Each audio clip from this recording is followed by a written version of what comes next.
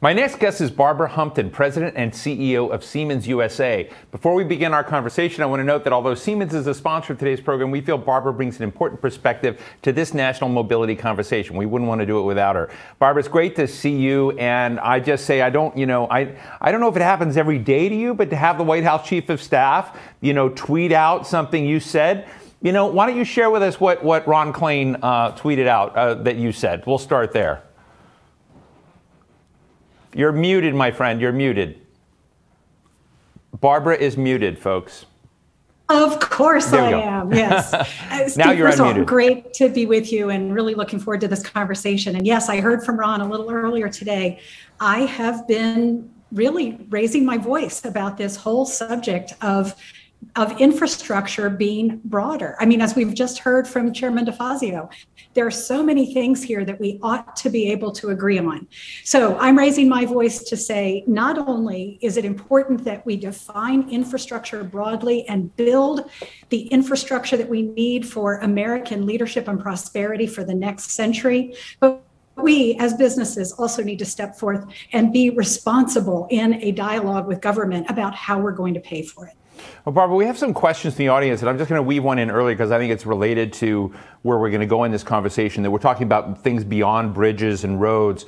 Uh, and, and Pete DeFazio, Chairman DeFazio, was just talking about vehicle to vehicle communications and the important part of it. And John Wiley of Zebra Technologies has asked, how soon will 5G LTE be an important factor in mobility? And so I'm interested in this world of mobility of the Internet of Things, but also the Internet of lots of moving things, and wonder, you know, how you see that.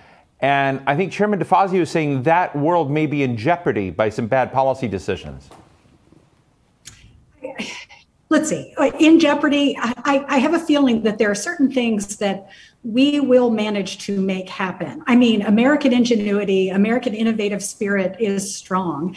And all you need to do is uh, see the world coming to the Consumer Electronics Show to see all of the innovation that's going on around transportation. Connected e mobility is absolutely a trend. We are headed in that direction. The question is, how fast do we want to get there? With true um, investments on the part of government, both at the federal as well as state and local level, we can see the infrastructure uh, being put in place to help us rapidly move through the transition. What do we need to make this possible? We are going to need strong communications background, uh, uh, backbone for all of us. We're also really committed, and especially at Siemens, we're committed to this concept of open standards. You see, we've seen, just look back over the last century of innovation in the United States, and you'll see that we launched federally funded programs that allowed us to lay down a foundation for some objective, be it a space program, be it highways, mm. et cetera, be it the internet. And then what we've been amazed by is how innovators and entrepreneurs have been able to build with those building blocks something we never could have conceived of when the effort was originally started. When you look at your map, you know, I always used to go down to like Disneyland and the old Walt Disney days where you had the and you can kind of look at a little mobile of, you know, the future of transportation. Sometimes I feel like that system, which was cool at one point, is very rickety today. When you think about the future of mobility and what needs to be in that, whether it's retrofitting and improving rail or things we've already got, but adding and layering on new forms of transportation and mobility possibilities, what does your playground look like?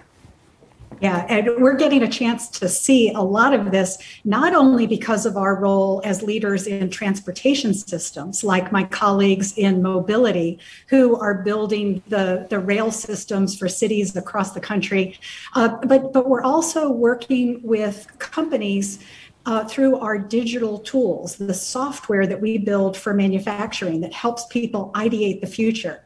And what we're beginning to see is a future of air travel which is includes supersonic flight, it includes electric propulsion, it includes new forms that we hadn't seen before. So we know that air is going to transform.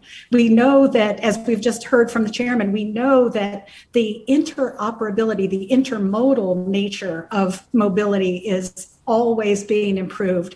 But one thing that's crystal clear we see that the future of mobility is autonomous, connected, and electrified. Those three major trends are informing a lot of decisions that are being made in the mobility space right now.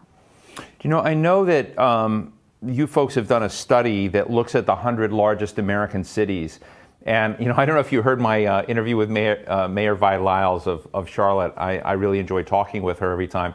And I, and I asked her, I said, did you see the movie Who Framed Roger Rabbit? And, and she had not. But, you know, in Who Framed Roger Rabbit, the plot of the movie is that, that, you know, the automobile industry wipes out light rail. They wipe out rail and, you know, it becomes a world. And so she talked about Charlotte and its history and how those same kind of tensions had, had existed. And, you know, I guess as you look at cities and look at the fact that so many don't have rail options, um, I don't know, does your head explode? I mean, what, what, what can be done uh, in that world? Is it really, really hard to bring rail into cities? What are the impediments? I, I think uh, bringing rail to cities is actually one of the greatest opportunities we have. I, I, don't know how many people noticed that during the pandemic, it was often our rail systems that were bringing our essential workers into the hospitals and the, the critical infrastructure areas where we really needed them online and supporting. So, for especially for workers who aren't in a position to own a car, rail is a fantastic option. Then you look at it from the other aspects of what does this do for us when it comes to our sustainability objectives. And you realize the number of cars we take off the road with rail systems, it's phenomenal. And then space. I, I, my favorite demonstration is something that our head of mobility in the US, Mark Buncher, shows us. And it's an, it's an easy illustration of a crowded highway full of cars, people sitting six, eight, 12 feet from each other, and then that same number of people seated in a rail car, and just how efficient overall rail is. Now, 40 of our largest cities here in the US don't have access to rail. They haven't put in their own systems. And, and we we are really making a concerted effort to get discussions going and make sure that we open people's eyes to the potential. Barbara, you know, one of the questions I want to ask you, because, you know, Siemens, um, I'm sure people know, is a huge, huge firm. And I'm just interested, sometimes firms like yours have a great team and they innovate. And on another hand, you know, when you kind of look at the transportation sector, you, we're talking to folks from Zoox and, and Nuro and others today, these, these little firms of, you know, that are coming in that are transforming the innovation map. I'm interested in how Siemens works with and cooperates with the small innovative players that you may not own yet, um, that are also tied to, you know, sometimes local community colleges and universities, that other broad ecosystem out there. How do you I want to give people an understanding. It's a very dynamic innovation space right now out there, and not everyone in the, there is Siemens. How are you working with those companies? Well, you've put your finger on the whole secret of how to thrive, survive, and, and grow in today's economy. Siemens is, I always think of it as a 173 year old startup because it's a company that has innovated through all four industrial revolutions. And, and part of this is you realize that most innovation happens with two people over a napkin drawing pictures of what could possibly be. So we make a really conscious effort to um, invest in innovation externally is a really important facet here. So, uh, for instance, we're working with our venture capital arm, Next 47. We were founded in 1847. This is looking for the next 47. And they will invest in companies that are in these market segments we serve. We try to take a large enough stake in the companies that we actually get a board seat, that we become the first phone call. But our whole goal is to give these companies access to our portfolio, the people and, and uh, problems that we're working working on and see if we can help them scale faster. We do other things to encourage um, innovation inside the company, but one really good example of this kind of ecosystem innovation is our e-mobility partner ecosystem. We've actually joined forces with 20 other partners. Some are OEMs, others are innovators in the way uh, electric vehicles will actually service will be provided, et cetera.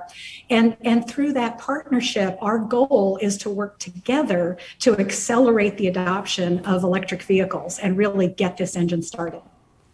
Well, Barbara Humpton, uh, President and CEO of Siemens USA, I just want to tell our audience, you know, go to Ronald Klain. It's actually his official account, White House Chief of Staff, you know, at WHCOS, and he and he tweets out this story from from Yahoo about Barbara Humpton and what she said about transport, uh, transportation infrastructure.